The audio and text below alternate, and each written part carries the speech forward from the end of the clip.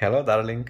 Hello, darling, and hello, everyone. My name is Ula, and I'm Aleksander's Shakti. Can you share how did you feel before I went to Tantric Man Experience program, and how you experienced our partnership, and how do you experience it now? So before, after, how was it for you? Hmm. So, before, what was alive in me, there was a lot of anger. I wasn't even realized that there is anger.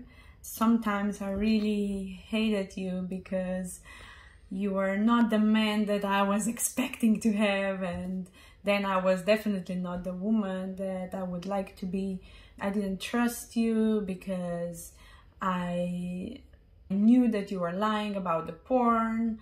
Because of that, I was afraid that you're gonna go with another woman, that you will do something behind my back with another woman, that you will lie to me, that you will not say the truth.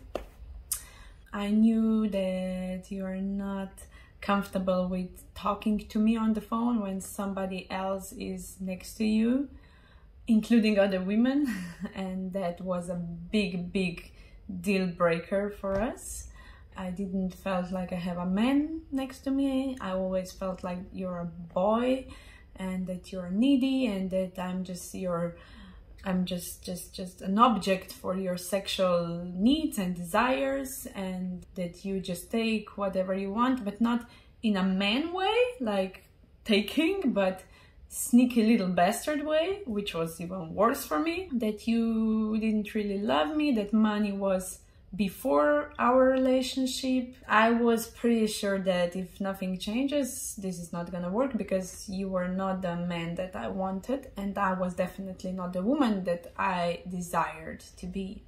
So we both made our path in the tantric world. Me before you, but I really desired for you to go in that way. I don't know why, but you said yes. and then you found this amazing group and things started to change from the day one you yeah there were ups and downs definitely you were more conscious you were more loving you were more man you had the willpower and sometimes i was like who are you? Are you really taking those cold showers? And what is the most important for me? You understand me now. Like you really feel me. Like the things i was asking you to do or not to do before you didn't know why you would do them or not do them and that you didn't have the drive for it. And now we are more we understand each other way better and i feel much safer and i trust you and i believe that you're really the man of my dream and that we can move into the house together. and what is more important, I had and I still have a lot of sexual trauma. And because you understand this now, you are really helping me, not making more trauma for me, but helping me to resolve this trauma and um, start enjoying the um, love making, which is a big, big, big step for me. So, thank you. Wow. Thank you.